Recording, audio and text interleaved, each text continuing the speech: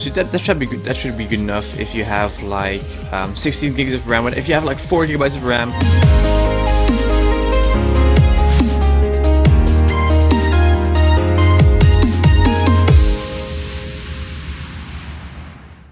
What's up guys, my name is Alex and welcome to a new After Effects video. This is the last video of today and in this video I'm going to show you guys how to speed up your rendering process. So let's say you just want to do faster rendering videos. I'm going to show you guys how to do that right now in this video. I'm going to show you guys how to do this without getting like a better CPU or more RAM or everything else, you know. I'm just going to show you guys how to do that right now in the settings in After Effects. So I would say let's jump straight into the actual video.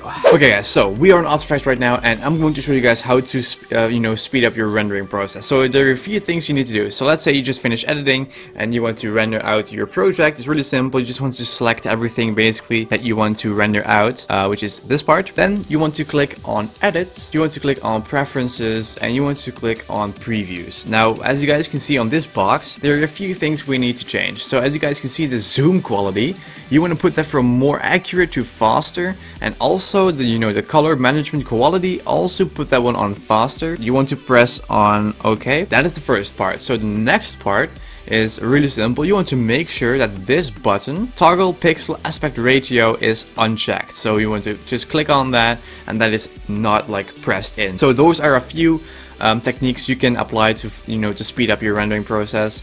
Uh, the next thing that you can do is you want to also go to edit you want to go to preferences again, go to memory and multiprocessing as you can see and then this box pops up again. What you want to do is you want to check, you want to click on render multiple frames simultaneously. And what you can do is you can choose how much RAM After Effects is using. So what you can do is you can make, you know, you can put this higher and then it's going to use more RAM. So I would, you know, recommend put this one to 7. So that, that should be good, that should be good enough if you have like um, 16 gigs of RAM. But if you have like 4 gigabytes of RAM, I would say keep it on 2. But if you have like 16 16 gigs of RAM or 8, you would like put between 5 and 10, that, that should work. I would say uh, you're pretty much done on that part. Well, what you want to do also is you want to change this one to 1 gigabyte, the, you know, the RAM, and that's going to speed up your rendering also. So we're going to go back to general, uh, we don't have to do anything in this preview. We have everything on the faster display. Also, what you can do, like leave everything how it is. Import, nothing to do. Output, uh, nothing labels, video preview appearance, everything is you know how it's supposed to be. So now you can just click on OK. And then what you want to do is you want to click on composition.